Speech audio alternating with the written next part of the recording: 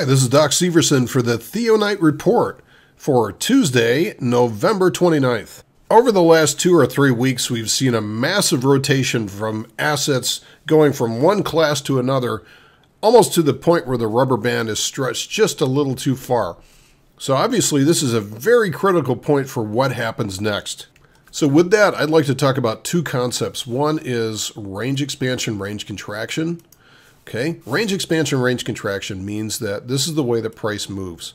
Price consolidates, range contraction, to the point where it builds up a lot of energy. I'm looking at the yellow line here, the embedded fractal on this indicator, to the point where it's almost like the pressure is built up so far that it has to move. And that's where range expansion takes over. But range expansion can't go forever right? So there's a limit on everything. So when it gets to the point of linearity, where it's just so buried like this, we move into the next range contraction. So price generally, with just about every asset that I can think of, goes between these cycles of range contraction to range expansion to range contraction. This is why you always find that people find these moves, these explosive moves, literally come out of nowhere because everybody has stopped looking for them right? And it's just, uh, you can think of this as the spring being wound up like this, tighter and tighter and tighter before it finally explodes out of your hand. And this is where we get the movement. This is where all the potential energy is built up. This is where it's converted into, for effect, kinetic energy into movement. And it just goes back and forth, back and forth between these states. We can see this on the monthly time frame. We can see this over here on the weekly. We can even see this on the daily or even intraday if we wanted to.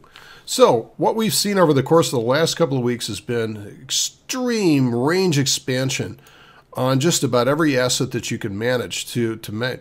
And we're finding that we're at the limits of how far these things can go. So, what we need to do is to look across the asset classes and look at see which ones of these are kind of at the limit of range expansion and are ready to go into range contraction. And the second point that I want to bring up is therefore a character. When the price expands like this and into exhaustion, it can do one of a couple of different things. First of all, it can basically just go sideways into a little range like this.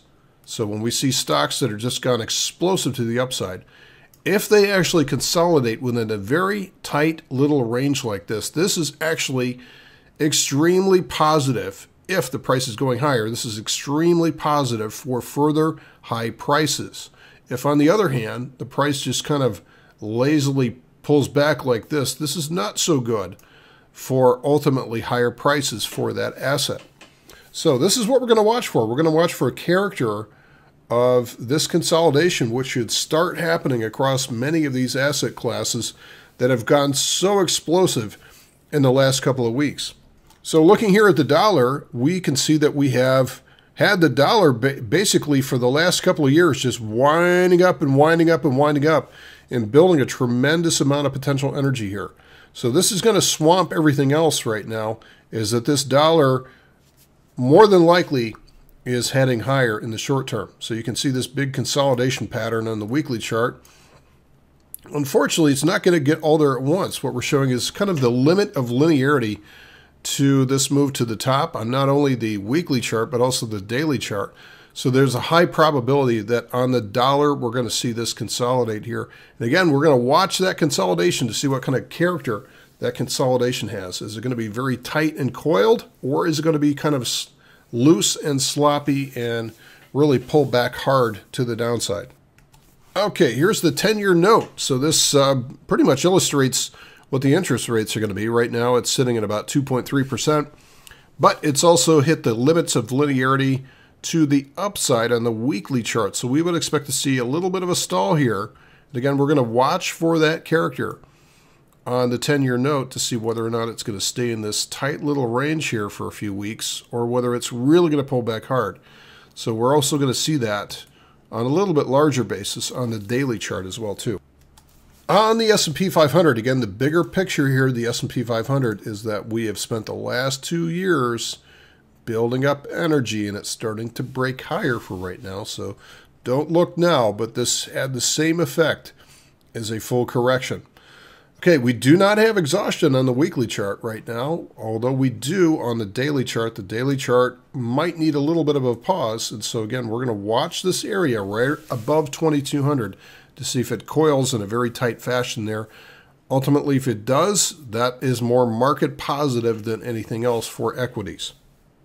I'm going to finish up here tonight with the Russell 2000. The Russell 2000, again, has been coiling for a long time, but this move that it's recently put on is just epic. And now we're seeing exhaustion on not only the weekly, but also the daily. And so, what I would expect to see in the short term on the Russell is a little bit of sanity returning to the Russell. This has just been an enormous move, but this is going to take an extended consolidation, if not, right? So it's either going to have to go sideways for quite some time or it's going to have to outright just pull back pretty hard down here on the Russell. I would expect to see 1300 hold a support for the meantime. But again, the tighter and more narrow that consolidation range is on the Russell, ultimately that will create the more bullish pattern.